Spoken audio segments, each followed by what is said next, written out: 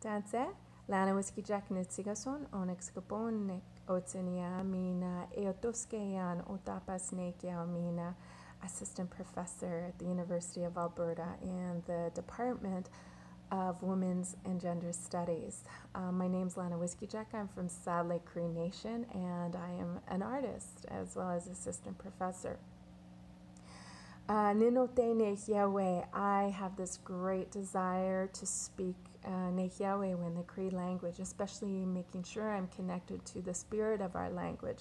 And that spirit is, you know, comes from the land, our connections to the cosmos, to our ceremonies, our, you know, our connection to one another. Um, in our traditional kinship systems of being related to all that is animate, all that is growing and in movement. And so I hunger to connect to the land and um, those stories of our land, those laws of our land, uh, to be, you know, be nehio, uh, a person of four parts of this of this land, of being a being of this land. Um, so one of the paintings that is highlighted in the uh, Polyglot magazine is Miyotêh Nipîskwan Nimitêh.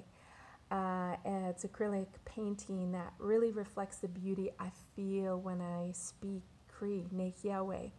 And part of my language declaration is to speak from Nitêh, my heart, which is root word for uh, Nimitêyaniy, um, our tongue.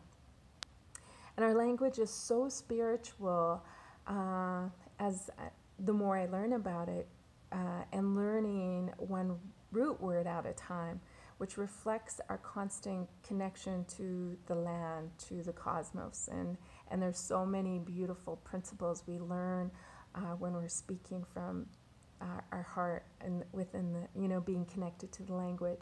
And so um, I pray we're always learning and shifting our minds and undoing a lot of um, language trauma that was caused by colonization. And so a lot of my art submitted is about reflecting about this deep connection and love for Nêhiyawêwin, uh, our Cree language.